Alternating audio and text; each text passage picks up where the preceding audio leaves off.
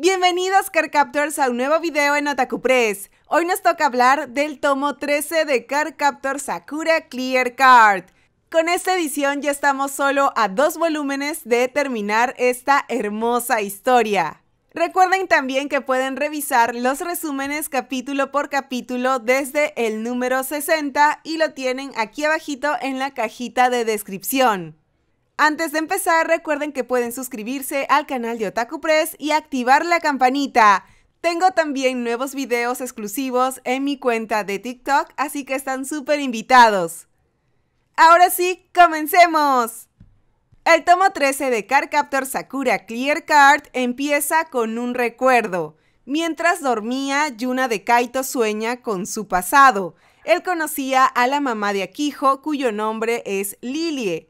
En uno de esos encuentros entre su clan y la sociedad de magos, Lilie se acercaba al pequeño Kaito a pesar de que él había ejecutado una magia de aislamiento. Le llevó muchos postres incluyendo chocolate con menta, su favorito, y al inicio Kaito no cayó en la tentación, pero luego con cada visita terminó probando algunos dulces. Es allí cuando descubre que no le gusta el chocolate con menta. Una noche Lilie le cuenta que había recibido un anillo de alguien especial y Kaito ya había notado que escondía un gran poder. La persona que se lo entregó es muy especial para Lilie y es una de las más poderosas de su clan. Lo cierto es que ese anillo que recibió tiene relación con uno de sus sueños sobre el futuro. Las conversaciones entre Lily y Kaito trascienden por supuesto el tema de los dulces y ella le comenta que tiene en alguna parte algo que realmente le gusta y espera que él se dé cuenta. Es entonces cuando Kaito se despierta y recordando todavía el pasado, Momo nos cuenta que ocultó su forma original para no ser descubierta por el clan. Además, Kaito se pregunta si todo esto que están viviendo ahora ya lo había visto Lilie en sueños. Mientras tanto, en la casa de Sakura, nuestra adorable protagonista tiene un sueño con la misteriosa encapuchada Sakura se pregunta cuándo se podrán ver fuera de este sueño y podemos ver también la manga de su vestido, que en realidad es un avance del tan esperado traje de la obra de teatro de las dos Alicias.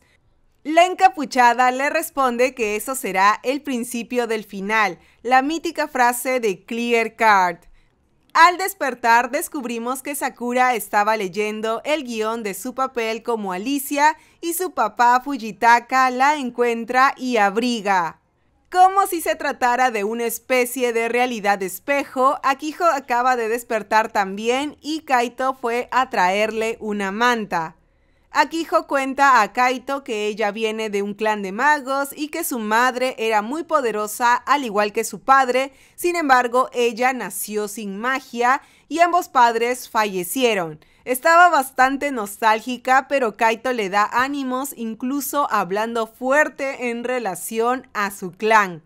Sin embargo, la conciencia no lo dejaba en paz. Kaito recuerda que fue él quien sugirió que la pequeña Kijo era como una especie de libro en blanco, pensando que así la dejarían vivir una vida normal, pero el clan y la sociedad de magos tenían otros planes y más bien decidieron convertirla en un objeto mágico.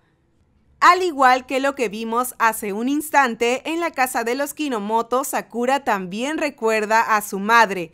Pero luego de que su papá se retire, Sakura sella nuevas cartas. Resulta que creó ambas cartas en sueños, Choice y Kindness, que tienen la apariencia de su hermano Touya y su padre Fujitaka. Durante una llamada telefónica con Shaoran, Sakura las describe como cartas muy cálidas, aunque no utiliza su poder. En un nuevo día de escuela, Sakura y Shaoran están probando macarrones y aunque ya sabíamos que a Shaoran no le gusta el sabor de chocomenta, parece que la dulzura de Sakura llegó a su paladar cuando probó el macarrón preparado por ella. Shaoran se muestra dispuesto a intentar gustar de lo que a Sakura le agrada y ella se compromete en seguir ese ejemplo. Luego descubrimos que la obra de teatro de las Alicias llegará en solo una semana y que la pobre Naoko anda de aquí para allá para tener todo listo. Además, Sakura confiesa que está ensayando junto a Kijo y que ahora intentan aprender hasta las líneas de la otra. Shaoran parece estar preocupado porque aunque Akiho no tiene magia ni parece tener malas intenciones, ninguno sabe cuál es el verdadero objetivo de Kaito. Sakura le promete que tendrá cuidado y cuando están por hacer la promesa con el meñique, confirmamos que aún no se pueden tocar. En el ensayo, Akiho se identifica como la Reina Roja, mientras que Sakura se presenta como Alicia.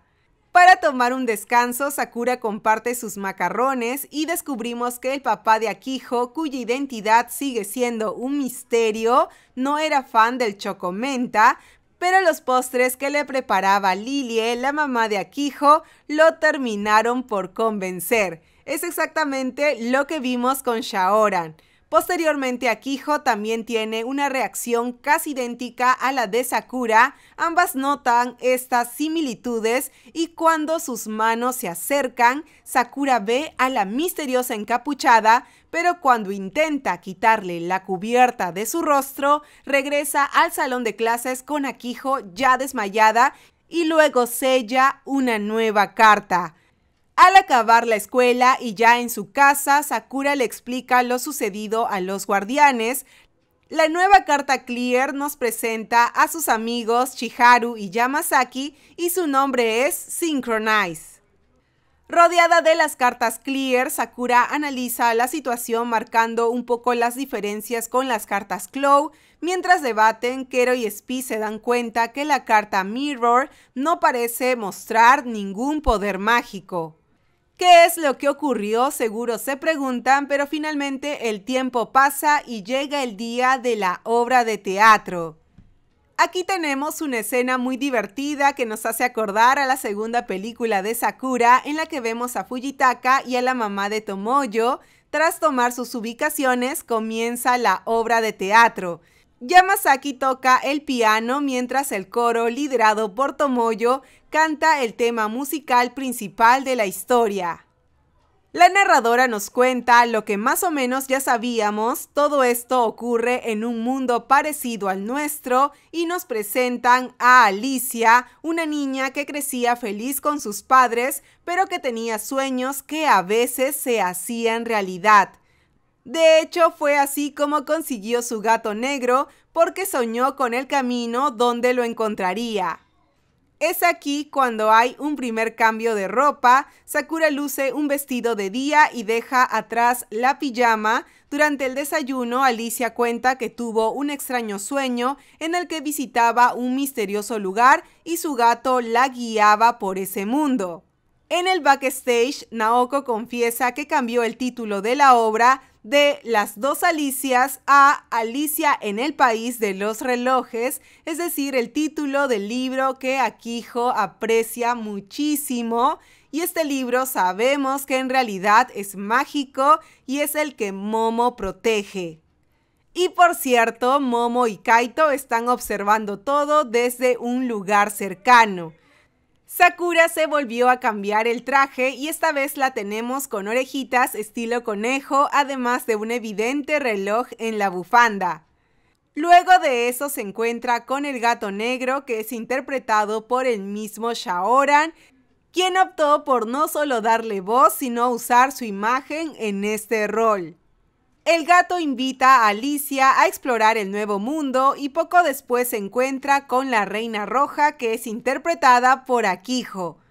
Cuando ambas estaban por ingresar a otro escenario, Sakura y Akijo desaparecen ante los ojos de Shaoran. Es aquí cuando el poder de Yukito se activa y tenemos un flashback. En este recuerdo vemos a Touya con Nadeshko y descubrimos que ella sabía que su hija tendría poderes incluso desde que nació. Además, Touya confiesa que él también tiene un nuevo poder y por fin podemos verlo en acción ya que Touya detiene el tiempo y con el poder de Yukito es como un combo perfecto para que esta acción dure más. Shaoran entonces asegura que la traerá de vuelta. Shaoran entra al portal del mundo donde estaba Sakura y Akiho. Aquí vemos a algunas de las cartas Clear, incluyendo a las que tienen la apariencia de los seres queridos de Sakura.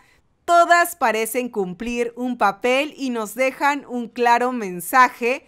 En este mundo, solo Sakura tiene la decisión de definir qué perseguir, un sueño o la verdad. Sakura sigue su camino, pero luego vemos que está en peligro hasta que Shaoran la salva sosteniéndola de la mano. Pero ¿cómo es eso posible? Y es que en realidad esta Sakura no es la real. Era realmente la carta espejo, la carta que cuidaba Shaoran y que fue robada por Kaito. Esto era evidente porque nosotros sabemos que Sakura y Shaoran no pueden tocarse.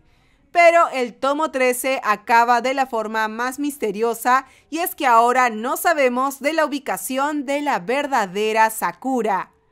Y así amigos tenemos el resumen de este volumen y ahora solamente nos falta el tomo 14 y el tomo 15 para cerrar toda la trama. Ya hemos discutido varias teorías, pero si tienen nuevas ideas recuerden dejarla en los comentarios. Muchas gracias por llegar hasta aquí y nos vemos muy pronto.